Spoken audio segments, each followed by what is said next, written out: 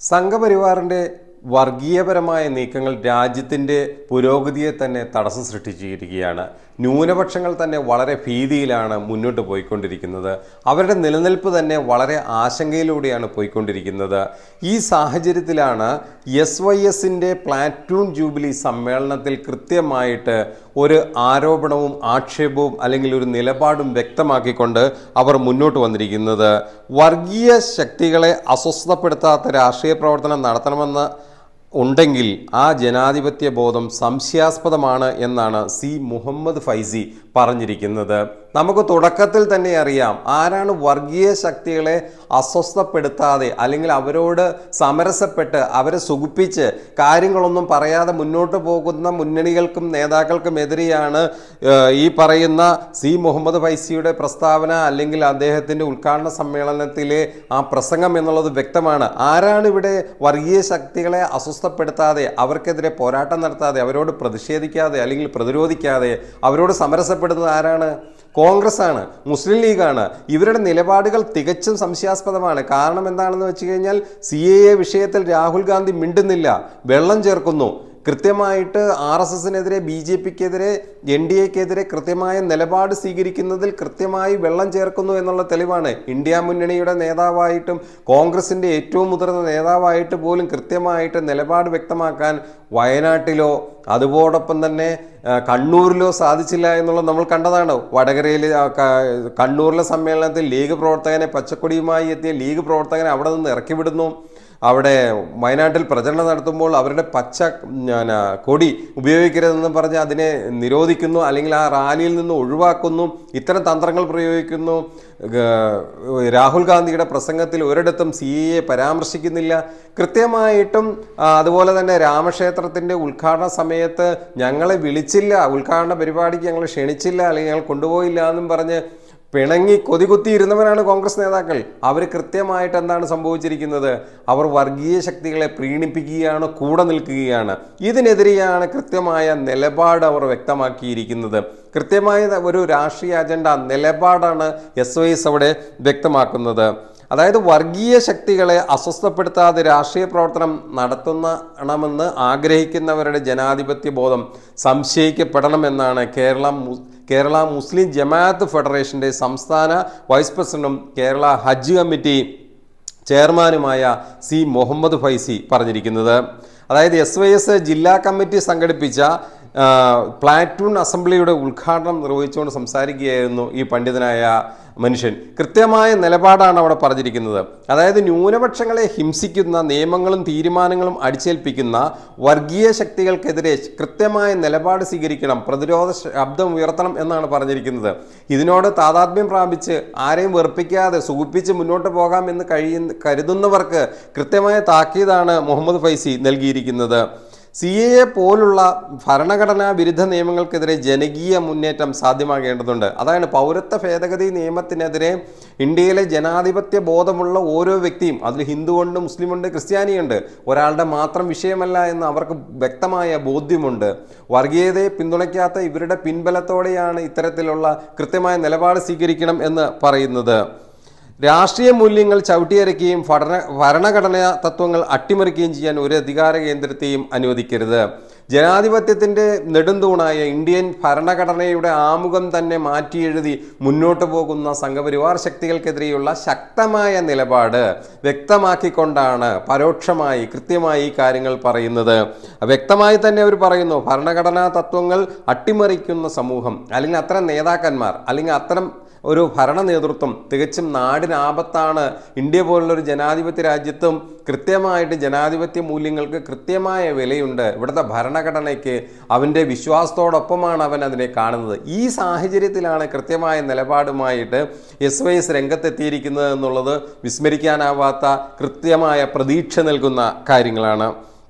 ഒരു മതവിഭാഗത്തിന്റെ മാത്രം രാജ്യമായി ഇന്ത്യയെ മാറ്റാനാകില്ല. ഏക സിവിൽ കോഡ് അടക്കമുള്ള പ്രശ്നങ്ങളിലൂടെ ഒറ്റ മതം മതി ഒരു രീതിയിലേക്ക് തന്നെ മാറ്റുമെന്നുള്ള ബി ജെ പി പ്രകടന പത്രികയ്ക്കും നരേന്ദ്രമോദിയുടെ നിലപാടിനും അമിത്ഷായുടെ പ്രഖ്യാപനങ്ങൾക്കുമെല്ലാം കൃത്യമായ മറുപടിയാണ് അവിടെ കൊടുത്തിരിക്കുന്നത്. ഒരു മതരാഷ്ട്രമാക്കി ഒരു മതം മാത്രമുള്ള ഒരു രാഷ്ട്രമാക്കി മാറ്റാൻ ഇന്ത്യയെ മാറ്റാൻ അനുവദിക്കില്ല എന്നുള്ള നിലപാടാണ്. അത് തെരഞ്ഞെടുപ്പിൽ കൃത്യമായി പ്രതിഫലിക്കും എന്ന് തന്നെയാണ് അവർ പറയുന്നത്. ഇത് ജനാധിപത്യ രാജ്യമാണ്. നാനാത്വത്തിൽ ഏകത്വമുള്ള കൃത്യമായ ഭരണഘടനയുള്ള ഒരു പൂന്തോട്ടം പോലെ റോസയും ലില്ലിയും ജമന്തിയും മന്ദാരവും എല്ലാം പൂത്തു നിൽക്കുന്ന ഒരു പൂന്തോട്ടം പോലെ എല്ലാ മതങ്ങളും ക്രിസ്ത്യനും മുസ്ലിമും ഹിന്ദുവും ഓണവും വിഷുവും റംസാനും ഈസ്റ്ററും പെസഹായും എല്ലാം ഒരുമിച്ച് ആഘോഷിക്കുന്ന പൂരം പോലെ എല്ലാ തരത്തിലും എല്ലാവർക്കും മിക്സായി ജീവിക്കാൻ കഴിയുന്ന ഒരു ഇലയിലെ സദ്യ പോലെ കൃത്യമായി ജീവിക്കുന്ന ഒരു സമൂഹമാണ് കേരളം അല്ലെങ്കിൽ ഇന്ത്യ. ഈ രാജ്യത്ത് വ്യത്യസ്ത നിലപാടുകളുള്ളവരെ ഒരേ തരത്തിൽ കാണാനുള്ള ഗാന്ധി മൂല്യങ്ങളും അതോടൊപ്പം ഇന്ത്യൻ ഭരണഘടന വിഭാവന ചെയ്യുന്ന കാര്യങ്ങളും കൃത്യമായി കൊണ്ടുപോകേണ്ടതുണ്ട്. അല്ലാതെ ഒരു അജണ്ട മാത്രം നടപ്പിലാക്കിക്കൊണ്ട് സ്വന്തം കാര്യലാഭത്തിനായി വേണ്ടി ചെയ്യുന്നവരെ സപ്പോർട്ട് ചെയ്യരുതെന്ന് ആണ് ഫൈസി കൃത്യമായിട്ട് പറയുന്നത്. ചരിത്ര പുസ്തകങ്ങളിൽ നിന്ന് വെട്ടിമാറ്റിയാൽ ഇല്ലാതാകുന്നതല്ല മുസ്ലിം പേരുകൾ അതായത് നമ്മൾ മനസ്സിലാക്കണം ഇന്ത്യ ഭരിച്ച മുസ്ലിങ്ങൾ തൊള്ളായിരം വർഷത്തോളം ഇന്ത്യ ഭരിച്ച മുസ്ലിം മുഗൾ ഭരണ രാജാക്കന്മാരുടെ കാഴ്ചപ്പാടുകൾ അല്ലെങ്കിൽ അവരുടെ ശേഷിപ്പുകളാണ് ഇന്ന് നമ്മൾ കാണുന്ന കൃത്യമായി കാണുന്ന കുത്തുബ് മിനാറുകളും താജ്മഹലുകളും ചെങ്കോട്ടകളും ഔറംഗസേബിന്റെ കോട്ടകളും ഹൈദരാബാദിലെ ഗേറ്റ് കവാടങ്ങളും ഇതെല്ലാം ചാർമിനാറും. അങ്ങനെ ഇന്ത്യയ്ക്ക് ഇന്ത്യയിലെ വ്യത്യസ്തമായ ശില്പകലയുടെയും അതുപോലെ നിർമ്മാണ കലയുടെയും വൈദഗ്ധ്യം എന്ന് പറയുന്നത് ഈ കാണുന്ന ഇത്തരം കാര്യങ്ങളാണ് കൃത്യമായിട്ട് എല്ലാ കാര്യങ്ങളിലും ഏക ഒരു കൃത്യത വരണം എന്ന് ആഗ്രഹിച്ചിരുന്ന അന്നത്തെ പുരോഗമന കരാ കാരികളായ അല്ലെങ്കിൽ ആ ചിന്താഗതിയുള്ള ഭരണകർത്താക്കൾ നടത്തിയ രാജ്യത്ത് നടപ്പിലാക്കിയ വലിയ വലിയ നിർമ്മിതികളാണ് ഈ പറഞ്ഞത് ഓരോന്നും. ലോകത്തെ മഹാത്ഭുതങ്ങളിൽ ഒന്നാണ് ഷാജഹാന്റെ താജ്മഹൽ ടിപ്പു സുൽത്താന്റെ കോട്ട. ടിപ്പുവിന്റെ കോഴിക്കോട് നമുക്കറിയാം കൃത്യമായിട്ടറിയാം കാസർഗോഡും അതുപോലെ മംഗലാപുരവും ഒക്കെ ആയി ബന്ധപ്പെട്ട് കിടക്കുന്ന പ്രദേശങ്ങളിൽ ടിപ്പുവിന്റെ പടയോട്ട കാലത്തും അതോടൊപ്പം ടിപ്പുവിന്റെ കാലഘട്ടത്തിലും ഉണ്ടാക്കിയ പല കാര്യങ്ങളും. പാഠപുസ്തകങ്ങളിൽ നിന്ന് ഒരു കാലഘട്ടത്തിൽ നമ്മൾ പഠിച്ചിരുന്നു മഹാനായ അക്ബർ എന്നുള്ള പാഠഭാഗം പൂർണമായി ഇല്ലാതാക്കിയിരിക്കുന്നു. ആദ്യം മഹാനായ മാറ്റി പിന്നീട് മഹാൻ സാധാരണ അക്ബറായി തുടർന്നു. പിന്നെ ഇപ്പോൾ അക്ബർ കൂടി ഇല്ലാണ്ടായി. ഇങ്ങനെ ഓരോ തരത്തിലും ചരിത്ര പുസ്തകങ്ങളിൽ നിന്ന് ഇവരുടെ കൃത്യമായിട്ട് സ്വാതന്ത്ര്യ സമരത്തിൽ പങ്കെടുത്തവരുടെ ലിസ്റ്റിൽ നിന്ന് മുസ്ലിം പേരുകളൊന്നും വെട്ടി മാറ്റിയാൽ ഇല്ലാതാകില്ല. ഈ പേരുകളുടെ എല്ലാം ഈ പറയുന്നതിന്റെ എല്ലാം ഓർമ്മപ്പെടുത്തലുകൾ കൃത്യമായി ഞങ്ങളുടെ മനസ്സിലുണ്ടെന്നും അത് തെരഞ്ഞെടുപ്പിൽ പ്രതി പ്രതിഫലിക്കുമെന്ന് തന്നെയാണ് ഫൈസി ഇവിടെ പറഞ്ഞു വയ്ക്കുന്നത് ഈ രാജ്യം രൂപപ്പെടുത്തിയതിന് മുന്നിൽ നെഹ്റു ഉൾപ്പെടെയുള്ള നേതാക്കളെ ചരിത്രത്തിൽ നിന്ന് വലിച്ച് തുടച്ചു നീക്കാനുള്ള ശ്രമങ്ങൾ ഇവിടെ വില പോകില്ല. നെഹ്റു അടക്കമുള്ളവർ കൊണ്ടുവന്ന വിശാലമായ ഒരു കാഴ്ചപ്പാടിൽ നിന്നാണ് ഇന്ത്യക്കൊരു ഭരണഘടനയും അതിന്റെ ഒരു സംവിധാനവും ഭരണ സംവിധാനവും എല്ലാം ഉണ്ടായത്. അദ്ദേഹം കൊണ്ടുവന്ന ഈ മാറ്റങ്ങൾ അല്ലെങ്കിൽ അദ്ദേഹത്തിന്റെ നേതൃത്വത്തിൽ കൊണ്ടുവന്ന കഴിഞ്ഞ ഈ ബി ജെ പിയുടെ ഇരുപത്തഞ്ച് വർഷങ്ങൾക്ക് മുമ്പ് എഴുപത്തിയഞ്ച് വർഷത്തോളം ആ ഈ നാട്ടിൽ ഉണ്ടാക്കിയ മാറ്റങ്ങളെ ഒരിക്കലും മാറ്റി നിർത്താനാകില്ല. ഇവിടെ നിന്ന് ബ്രിട്ടീഷുകാർ പോകുമ്പോൾ ഇവിടെ ഒരു മുട്ടുസൂചി പോലും ഉണ്ടായിരുന്നില്ല. ആ മുട്ടുസൂചി ഇല്ലാത്ത സ്ഥലത്ത് നിന്ന് ലോകത്തെ ഏറ്റവും വലിയ ആയുധ പ്രതിരോധ സേന വരെയുള്ള ഒരു സംവിധാനമാക്കി ഇന്നത്തെ ചന്ദ്രയാനിലേക്കൊക്കെ എത്തിയത് കേവലം ഈ പറയുന്ന ഒരു ചുരുങ്ങിയ കാലം കൊണ്ടല്ല. വർഷങ്ങൾ നീണ്ട പ്രവർത്തനങ്ങൾക്കും പരീക്ഷണങ്ങൾക്കും ഒടുവിലാണ് കോൺഗ്രസിന്റെ കാലഘട്ടത്തിലും യു പി എയുടെ കാലഘട്ടത്തിലും അതിനു മുമ്പുള്ള കാലഘട്ടങ്ങളിലെല്ലാം കൃത്യമായ ഒരു പഠനങ്ങളിലൂടെയും ഗവേഷണങ്ങളിലൂടെയും ശാസ്ത്രത്തിന്റെ പുരോഗതിയിലാണ് ഇതുണ്ടായത്. അതല്ലാതെ ഒരു സുപ്രഭാതത്തിൽ പത്ത് വർഷം കൊണ്ടോ പതിനഞ്ച് വർഷങ്ങളോ കൊണ്ടോ ഉണ്ടായ മാറ്റമല്ല ഇതെന്ന് വ്യക്തമായി നമ്മൾ മനസ്സിലാക്കണമെന്നാണ് പറയുന്നത്. അതായത് പാർലമെന്റിന് പുറത്ത് നടത്തിയ വികസനങ്ങളല്ല പാർലമെന്റിൽ അവസരം കിട്ടിയപ്പോൾ വിവിധ പാർട്ടി എം പിമാർ അതെങ്ങനെ വിനിയോഗിച്ചു എന്നതാണ് ചർച്ച ചെയ്യപ്പെടുന്നത്. ഇവിടെയാണ് കൃത്യമായ ഒരു പോയിന്റ് ഉള്ളത്. പൗരത്വ ഭേദഗതി നിയമവുമായി ബന്ധപ്പെട്ട് പാർലമെന്റിൽ ചർച്ചയും വോട്ടെടുപ്പും നടന്നപ്പോൾ മുസ്ലിം ലീഗ് നേതാക്കൾ വിട്ടുനിന്നതിനെയാണ് കൃത്യമായി ഇവിടെ പരാമർശിക്കുന്നത്.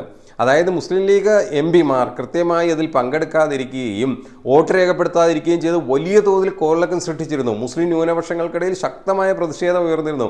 മുസ്ലിം ലീഗ് അണികൾക്കിടയിലും വലിയ പ്രശ്നങ്ങളുണ്ടായിരുന്നു പേരിന് മാത്രം എന്തോ വിളിച്ചു ചേർത്ത് അതിനോടൊരു വിശദീകരണം ചോദിച്ചതല്ലാതെ വേറെ ഒരു നടപടിയും ഈ പറയുന്ന ജനപ്രതിനിധികൾക്കെതിരെ അല്ലെങ്കിൽ മുസ്ലിം ലീഗ് എം പിമാർക്കെതിരെ അല്ലെങ്കിൽ നേതാക്കന്മാർക്കെതിരെ ഉണ്ടായിട്ടില്ല. അതിനെതിരെ ശക്തമായ പ്രതിഷേധമുണ്ട്. പാർലമെന്റിന് പുറത്ത് നടത്തിയ വികസനങ്ങളിലല്ല നിയമം നിർമ്മാണം നടക്കുന്നത് പാർലമെന്റിനകത്താണ്. ഈ സ്ഥലത്ത് ഇവരുടെ പ്രതികരണം എങ്ങനെയായിരുന്നു എന്നുള്ള കാര്യങ്ങളാണ് ഇവിടെ ചോദിച്ചു വരുന്നത്. ഇത്തരം കാര്യങ്ങളിലേക്കാണ് കൃത്യമായി എസ് വൈ എസിന്റെ നേതൃത്വം ഹജ്ജ് കമ്മിറ്റി ചെയർമാനായ അദ്ദേഹത്തിന്റെ നേതൃത്വം കൃത്യമായിട്ട് പറയുന്നത് ഇവരെയും തിരിച്ചറിയണം. ഇത്തരം തട്ടിപ്പുകാരെയും ഇത്തരം ഉടായ്പകളെയും നമ്മൾ മനസ്സിലാക്കണം എന്നാണ് കൃത്യമായിട്ട് പറയുന്നത്. ജനാധിപത്യത്തിനും മതനിരപേക്ഷതയ്ക്കും വേണ്ടി സംസാരിക്കുന്നവരെയാണ് പാർലമെന്റിൽ എത്തിക്കേണ്ടത് ജനാധിപത്യം മതേതരത്വം ഇതിനെക്കുറിച്ച് കൃത്യമായി അതല്ലാതെ ആരെങ്കിലും ഒരു തിട്ടൂരം കാണിക്കുമ്പോഴേക്കും സ്വന്തം ഐഡന്റിറ്റിയും കളഞ്ഞ് എനിക്ക് എന്റെ തടി മതി എന്നും പറഞ്ഞ് രക്ഷപ്പെടുന്ന സമൂഹത്തിന് അത്തരം ആളുകളെ ആ ഉടായ്പകളെ ഒന്നും ഇവിടെ ആവശ്യമില്ല എന്ന് തന്നെയാണ് കൃത്യമായിട്ട് ഫൈസി പറയുന്നത്. ഇത് കൃത്യമായ നിലപാടുകളാണ്. ഈ തെരഞ്ഞെടുപ്പിൽ ഇതെല്ലാം കൃത്യമായി എൽ ഡി എഫിന് അനുകൂലമായി മാറും. കാരണം യു ഡി എഫിനെയോ എൻ ഡി എയോ ബി ജെ പിയോ വിശ്വസിക്കാൻ കൊള്ളത്തില്ല എന്ന് കൃത്യമായി പറഞ്ഞു വന്നു കഴിഞ്ഞു.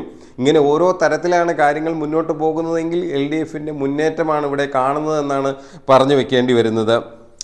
നിർമ്മാണങ്ങൾ അതായത് രാജ്യത്തെ അപകടപ്പെടുത്തുന്ന നിയമനിർമ്മാണങ്ങൾക്കെതിരെ ശക്തമായി ശബ്ദിക്കാൻ പ്രാപ്തിയുള്ള ആളുകൾ ലോക്സഭാംഗങ്ങളായി തിരഞ്ഞെടുക്കപ്പെടണമെന്നാണ് ഞങ്ങളുടെ താല്പര്യമെന്ന് അദ്ദേഹം പറഞ്ഞു.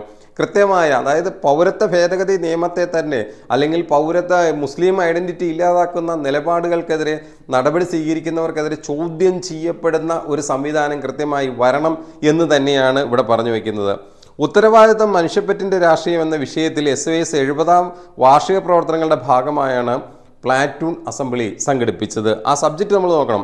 ഉത്തരവാദിത്തം മനുഷ്യപ്പറ്റിന്റെ രാഷ്ട്രീയം. അതാണ് ആ പോയിന്റ്. ആ വിഷയത്തിൽ നടത്തിയ പ്ലാറ്റൂൺ ജൂബിലിയിലാണ് ഈ പറയുന്ന പ്രസംഗം നടന്നിരിക്കുന്നത് ഉദ്ഘാടന പ്രസംഗം നടന്നിരിക്കുന്നത്.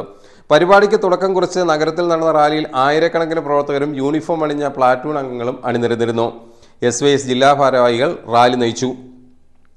അതോടൊപ്പം തന്നെ എസ് വൈസിന്റെ പൊതുസമ്മേളനത്തിൽ എസ് വൈസ് സംസ്ഥാന ഉപാധ്യക്ഷൻ സയ്യിദ് മുഹമ്മദ് തുറാബ് സക്കാഫി അധ്യക്ഷത വഹിച്ചു. മജീദ് അരിയല്ലൂർ ജലീൽ സക്കാഫി കടലുണ്ടി മുനീർ സക്കാഫി ഓർക്കട്ടരി പി വി അഹമ്മദ് കബീർ തുടങ്ങിയവർ സംസാരിച്ചു ഈ പൊതുസമ്മേളനത്തെ അഭിസംബോധന ചെയ്തുകൊണ്ട് സംസാരിച്ചിട്ടുണ്ട്. കൃത്യമായിട്ട് സി മുഹമ്മദ് ഫൈസിയുടെ നിലപാടുകൾ തന്നെയാണ് കേരളത്തിലെ ജനാധിപത്യ ബോധമുള്ള മുസ്ലിം ന്യൂനപക്ഷങ്ങൾക്കുള്ളത് എന്നുള്ള തിരിച്ചറിവാണ് ഇവിടെ ജനാധിപത്യത്തിന്റെ വിജയമായി മാറുന്നത്.